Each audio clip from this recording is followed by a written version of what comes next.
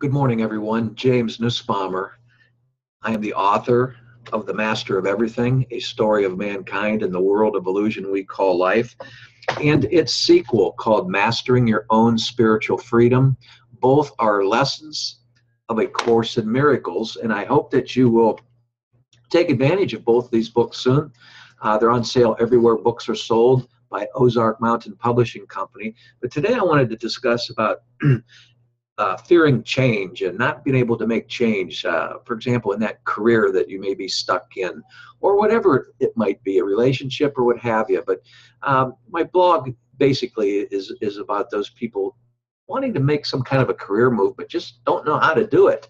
A Course in Miracles states, when vision is denied, confusion of cause and effect become inevitable. and then the Course also adds, if you accept this change, you have accepted the idea of making room for truth. You know, the crisis of being stuck in a career that has you self loathing, like once did for me, can be a lonely road. You've spent years trying to get to the top, but all along, you've been realizing it's not where you belong. And the effort you've poured into these years has drained you. Uh, you've established loyal relationships with associates and colleagues, and, and you're realizing that if you don't do something now, you may not ever make a change before something drastic may happen, whether with your life or a bad decision, as was with me, poor decision making. that I'll explain here in a second for those of you that don't know me. But when you find yourself at this difficult juncture in your life and career, what do you really do? Well, some years before I went to prison for a foolish securities violation as a financial advisor, where I'd spent 25 years in that industry, I remember a business relationship I had with a small technology company that was experiencing tremendous growth. I had uh, I had been given the small firm been giving the small firm financial planning advice for some years and uh, I'm now at this point I was also giving them a presentation as my goal of course was was attain all the company employees and even go further with their investment portfolio. But I would advise them on investment decisions and and to accelerate their portfolio as well as like I mentioned the employees within the company for their personal retirement portfolios and IRAs and things like that. It was a very good size account for me and my efforts paid off when they had signed on the company the company president Bart, whom I had known for a few years, was in the same golf league as I was, and that's how we uh, connected uh, in a business sense. Bart pulled me aside one day while I was gathering a census at the company's main office, which I needed to prepare for for the data that I needed to prepare. He saw that I was busy, but he asked that I step into his office for just a moment he seriously he seriously asked if he could ask me a very personal question and i said of course he hesitated and then proceeded he said jim without offending you what are you doing in the financial services business he continued that he and his partner respected my knowledge and expertise but but they they both sensed that I, I it really wasn't where I belonged. They both felt that I belonged somewhere else. He assured me that they were sticking by me in our business arrangement, but also wanted me to be aware that, that one of the reasons they went with me was that they understood. That kind of baffled me. I didn't uh, ask him what he meant by that, but I wondered, what is it that they understand about me? Well, I never did ask, and neither of them volunteered. I simply nodded my head in agreement and went back to what I had been doing uh, with the work I needed to get done there within his company. It wouldn't be until much later that I would realize what he meant. When, he ex- when we extend our grace, the grace about us, or our radiant light, we're simply extending that light over any darkness that remains, along with the light of others, which is the same light. It's the light of creation. But you cannot think about this in order for it to happen because it's quite confusing. Just like the opera singer doesn't doesn't think about it when she's releasing her high note. It's it's totally effortless. It's effortless. It's effortless because your true light is who you are. The others who live in their true light alongside you actually connect and form one light which is accepted and understood, as Bart was saying. One light is all there is, but it can be separated by cloud cover. Those who live in darkness will cover their eyes to you because initially they are suspicious and fearful of your light. This is only because these individuals are not on the same healing or readiness level. Nevertheless, they are still at one with you. They're just not realizing their own light or your light. It is, it is only that their light is obscured or covered by clouds at some level for the time being.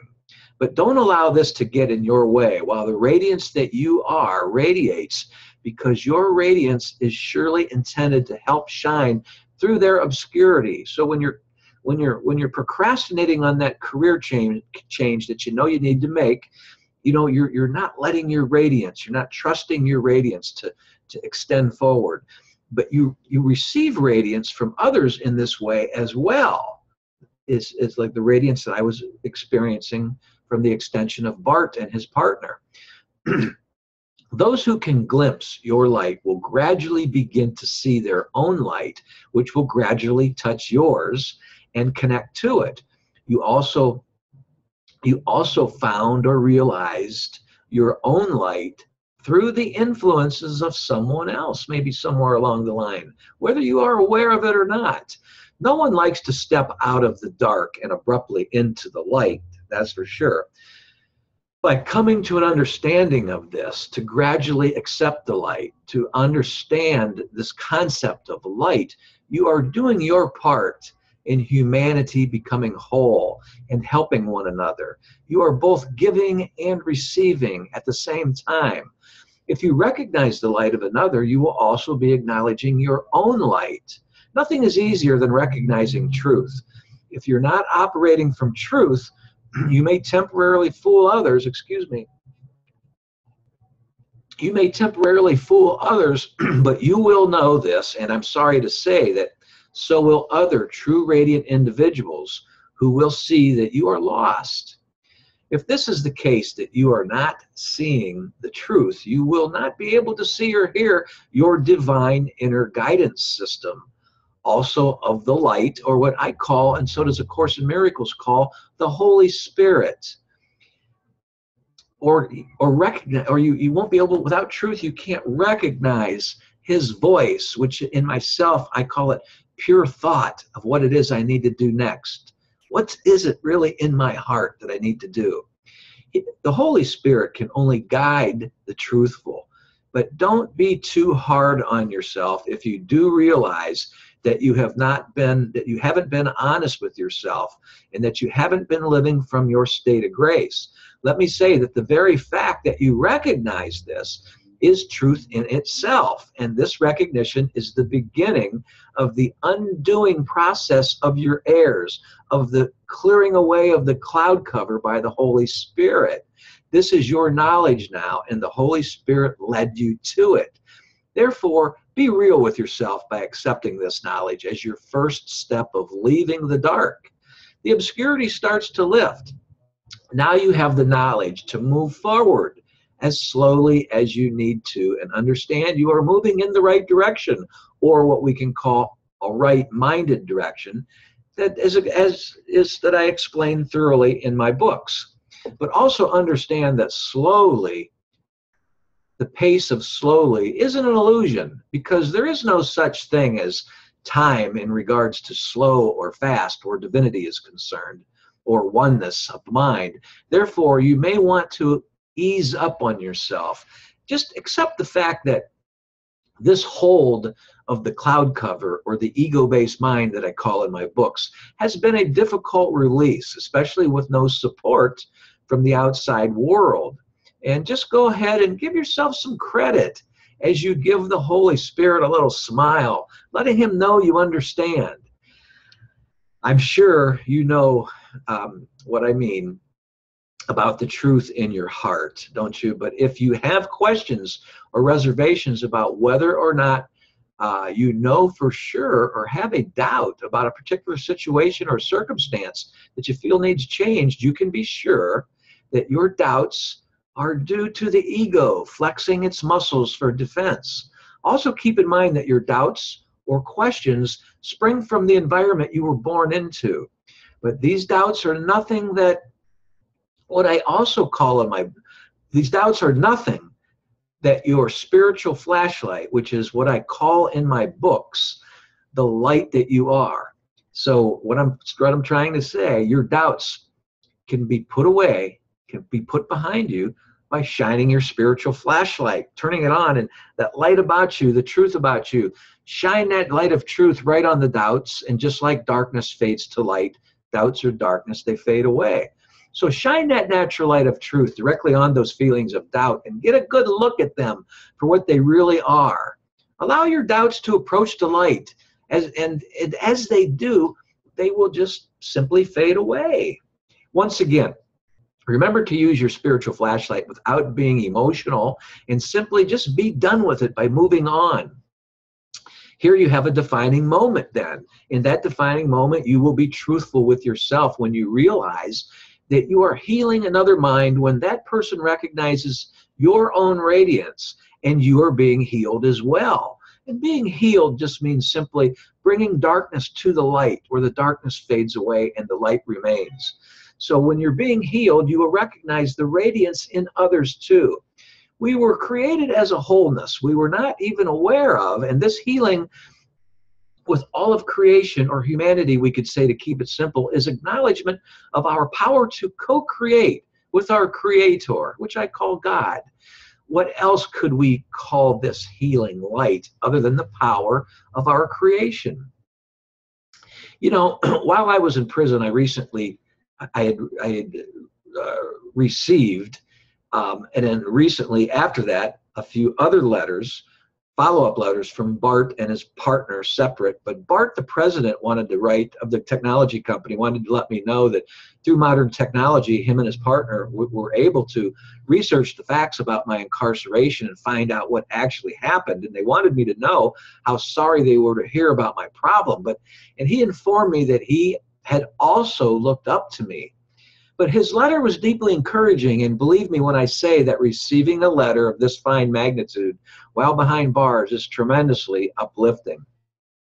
The letter also arrived during a dark time for me, a time where the cloud cover just didn't seem to lift, when I was able to see his light from the letter he had sent me, and a few others to follow. Bart went on to say how he'd sold his share of the company to his partner and no longer had any dealings with the business nor regrets. Bart sold his home as well, a much needed career change, and yes, moved to Florida where he purchased an old rundown golf course. He tells me he has fixed up the old course, and, and I haven't played there yet because he's uh, got onto some other business ventures along with the, the, the, golfing business, which he loves. But he tells me that he'd fixed up the old course and, and the old rundown course, and it's, it's in great shape. And he tells me that I'm welcome to play there anytime that I wanted to. And, um, you know, and I, I realize now that I now realize what Bart, you know, had meant, you know, a while back in those days in his office when he told me that he understood. Hey, I hope this makes sense, everyone. And I'd like to quickly add that you can read this blog if you're at my YouTube channel uh, by clicking the link down below in the description box, which there's also some information there on a system I use to claim real abundance. But if you're already at my blog and you're watching the video there, then you'll know that down below is, is the it, that this video is inside the blog. So you have it right there. And there's some links uh, for my real abundance uh, opportunity that, that I use to claim real abundance. If you'd like to, to go there, it goes directly to that page at my website. So thanks for putting up with me today, everyone. And um, keep the light shining and keep it fading away darkness. And God bless. Thanks again.